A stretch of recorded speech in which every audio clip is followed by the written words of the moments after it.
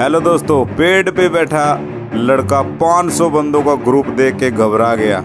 ये दौड़ रहे हैं कोट द्वार में 500 बंदे एक ग्रुप के अंदर। अब पकड़े कितने जाएँगे, भगवान जाने। दोस्तों, घबराना नहीं है, परिस्थिति कुछ भी आ जाए। अपनी तैयारी जारी रखें। गॉड ब्लेस यू हारना नहीं है, हिम्मत नहीं हारना है। शेर के बच्चे हो आप लोग। किसके? शेर के बच्चे। जय हिंद, जय भारत। अच्छा लगे तो चैनल को सब्सक्राइब कर लेना।